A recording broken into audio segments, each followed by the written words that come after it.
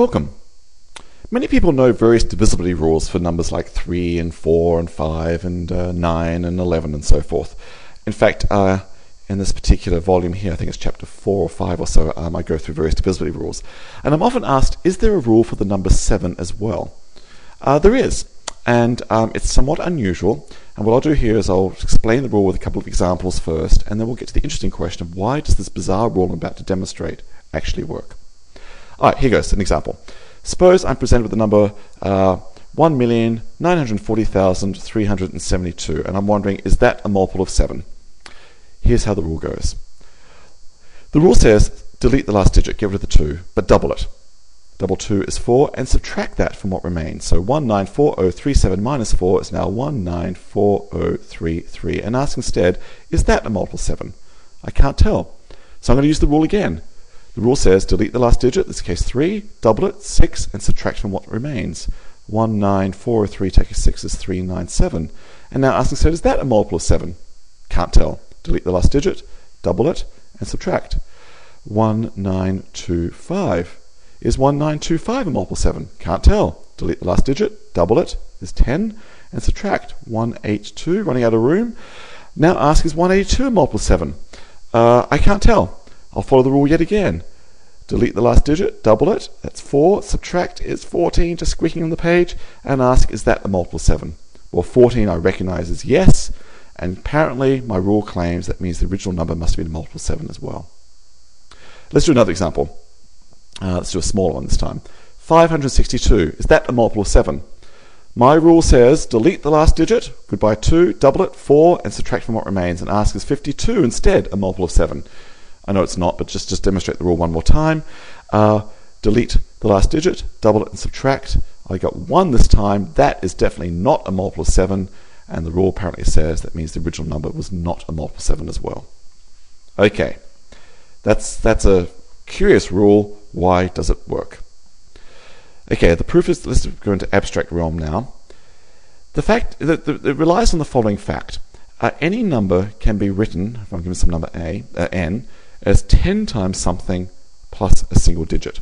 For example, my original number here can be written as 10 times 194037 plus a single digit of 2. So we're asking, is a number of this form a multiple of 7? I'm going to do something very sneaky and bizarre. It's going to come out of thin air for the moment, but it will make sense shortly. Working with 10a plus b and asking is that multiple 7 is no different from asking whether 10a plus b minus 21b is a multiple of 7. What I've done here is inserted a term which is already multiple of 7. So this is not going to affect my divisibility, divisibility question. If this whole thing is a multiple of 7, it must be because the part I'm interested in is a multiple of 7. Now why am I doing that? Let's look at the algebra that follows. 10a plus b minus 21b is the same as 10a minus 20b. Common factor of 10, 10 times a minus 2b. Now the wonderful thing about primes is that they have the property that if a prime goes into a product, it means it goes into one of the individual terms. For example, 7, if it goes into this product 10 times a minus 2b, the 7 will never be split apart to go into partly 10 and partly the second. It either goes into 10 or goes into the second term. Well, actually, 7 doesn't go into 10. So if I'm asking for divisibility by 7, the only way this term can be a multiple of 7 is if this part of the product is a multiple of 7. So I've really converted my divisibility question to, into the one as follows. If I want to know if a number n, 10a plus b is a multiple of 7, I'm saying focus instead on this guy, a minus 2b. But what is that?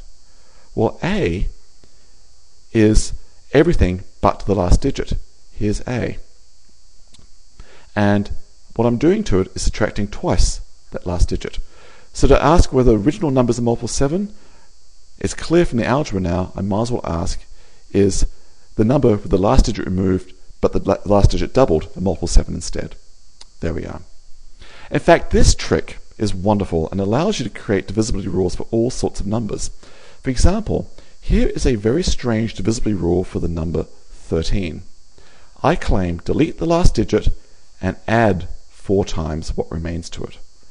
As a very sort of strange and simple example, suppose I was asking if 1313 is a multiple 13 delete the last digit, and add 4 times it. So add 12 makes 1 4, 3. I'm going to ask, is that a multiple of 13? Suppose I can't tell.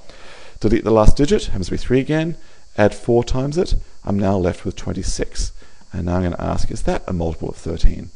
Well, 26 is, that means it was at the beginning. Why does this rule work? Well, what I'm really doing is looking at a number. Any number can be written as 10 times something plus a single digit. And I'm going to add to this 39b. That won't affect whether my original number is divisible by 13 or not. That's already a multiple of 13. I'm still focusing on the divisibility of this guy. But algebra shows this is 10 times a plus 4b. Therefore, divisibility by 13 really depends on the divisibility of the second term. The number of the last digit removed plus 4 times that last digit. So there you go. Create a divisibility rule for the number 31. Create a divisibility rule for the number 19. You've got much power at your hands now. Thanks very much.